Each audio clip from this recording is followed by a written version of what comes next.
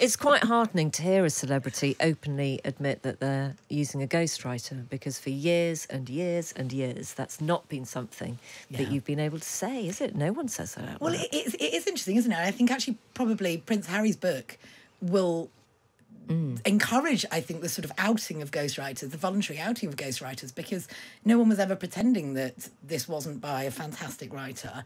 Um, because I sort of think there's no shame in it, but you, but you're right. But there used to be, and also just from a professional point of view, it was always incredibly difficult to interview someone who hadn't actually written their own book. yeah. Uh, Sometimes hadn't read it.